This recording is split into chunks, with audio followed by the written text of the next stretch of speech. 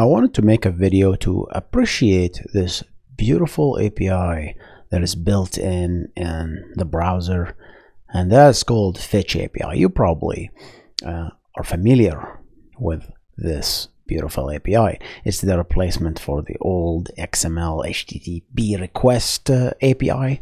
But uh, let's go ahead and just examine the beauty of this API.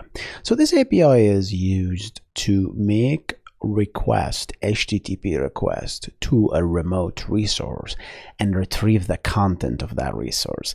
Although the name is indicates that you're kind of fetching something you're pulling something yeah, you can actually do more than just fetching. You can actually essentially post and, and, and put values in a resource right?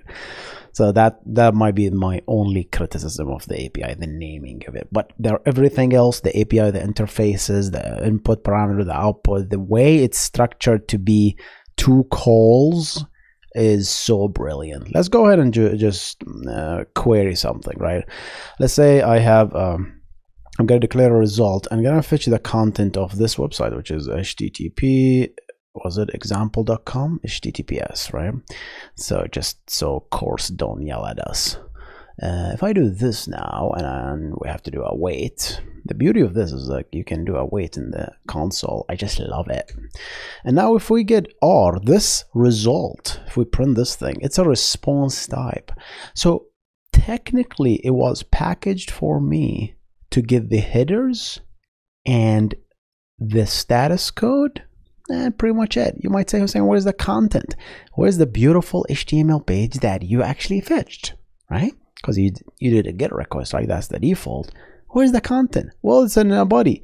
But the body is a stream, which means that it is so expensive for the API to actually parse that content body for you and give it to you in form of string because they don't know what you're going to use the body for. Why take the hit to parse the body into a data structure for you to consume?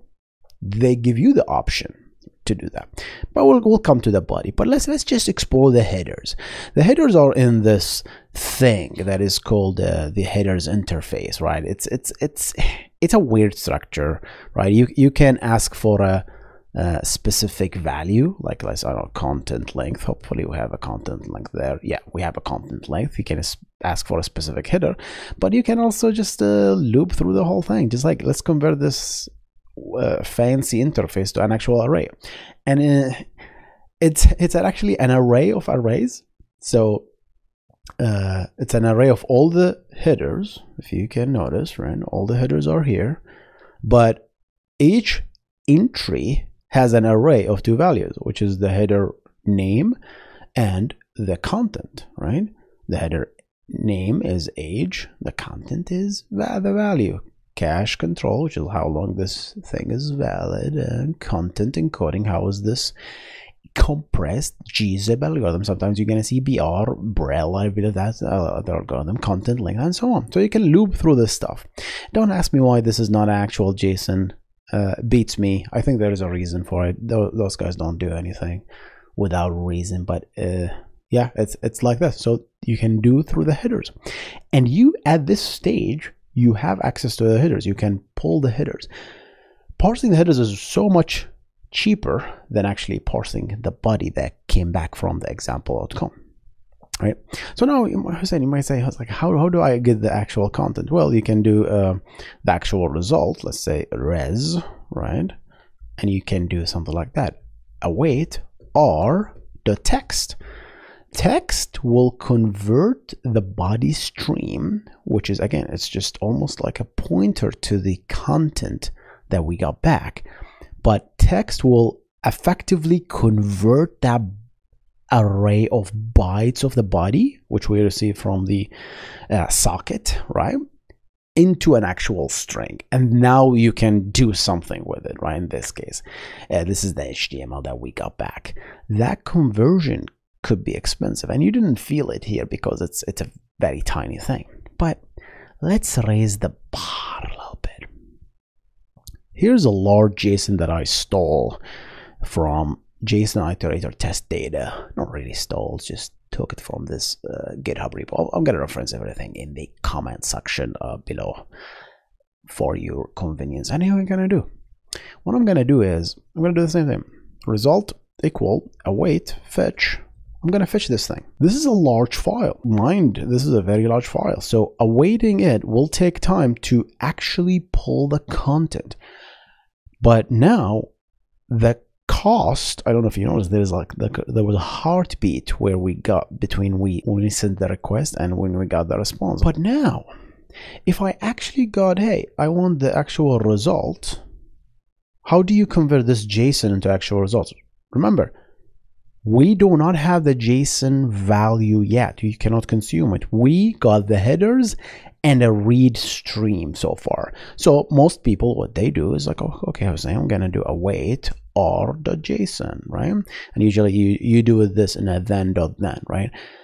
And now the browser is responsible for taking that pointer where it has everything in memory. It respond, it got the response, right, from the socket, from the server but it didn't take the hit to actually convert that bytes, the set of body by large body bytes, to actually convert it to an actual JSON that you can work with it. See how long this will take. Did you feel that? That took a long time to actually yeah, do that. And, and I, I, only have how many? This is only 1100, 1100 entries. If you have a million entries in this JSON, then it's going to be larger and larger. It's going to take more time to do that conversion. Right? That's why reading large files in JSON is is, is quite ex, is quite expensive, right? You can do like a do this thing, that ID, right? Whatever. This is the actual values of things here. Like looks like these are users, right? But part what that's my point. Parsing this thing into value JSON takes time, and you might say, I'm reading small things that doesn't matter. Yeah, but what if you're actually reading large things, right? And that takes a long time. You want you want you want just the first few values. You don't want to take the head to parse the entire JSON.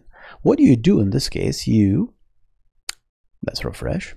You use the streaming capabilities of this thing. So let's go ahead and and hit that JSON iterator again. But this time, what I'm going to do is uh, create. I'm going to create a reader, and I'm going to get the body dog get reader is that how you do it i forgot i think this is how you do it so i'm gonna get ask the body to give me the reader value right and now i have a reader stream and you you notice that it was so fast because technically i don't have eh, i did not do anything yet.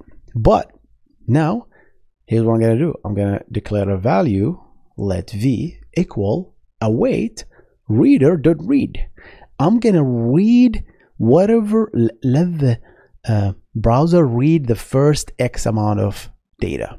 And then when I print this thing, notice I have, how much did we read? We read around half a meg. Is that, is that right?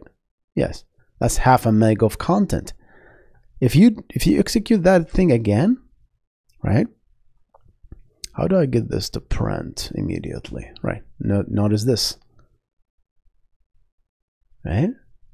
you get another 65,000. Now, I don't know how the browser decides how much it gives you based on its memory or thing, but look at this variable.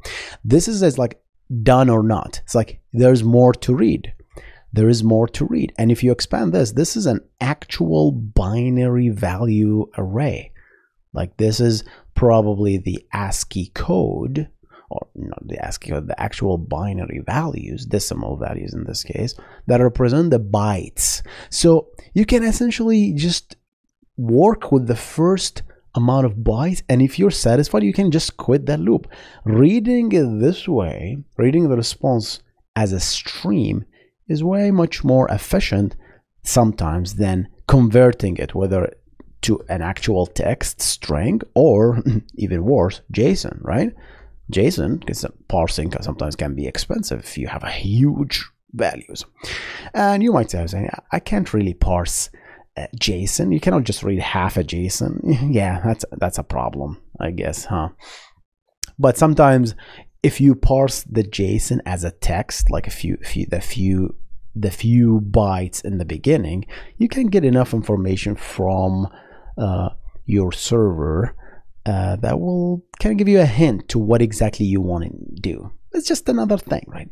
Just just appreciate this. This two step is so critical that they had added this readable stream, and uh, I don't know. I find it very enticing. And some some some some some of you might say, "How can I convert this uint 8 array, which is this binary buffer, to an actual value that I can do. You can use something, I believe it's called the new text decoder. Then you do decode and you do VDO value. You pass it this this thing and it's gonna convert the value for you. Obviously, if you're looking at just that, that's not a valid JSON, right? But you can search uh, through through a text, right? Text string. And uh, maybe my JSON example is not that great, but if you're reading a, a, huge text file or a CSV file, that is possible to be streamable, unlike JSON. Unless we have streamable JSON in the future, uh, we're stuck with this JSON thing, unfortunately. But yeah, I just wanted to make the video to appreciate the value of beautiful, beautiful fetch, guys. Just sometimes you need to just read the headers you know without actually taking the hit to parse the body right? Especially if you have large content. These additive like this extra second or half a second can make a huge difference to your front end. Mm, i just realized this is a whole this whole video was a front end video. Mm, well uh, actually there is a node.js fetch api isn't it? Right. But yeah i just want to make this video to discuss this fetch api beauty I'm going to see you in the next one. You guys stay awesome. Goodbye.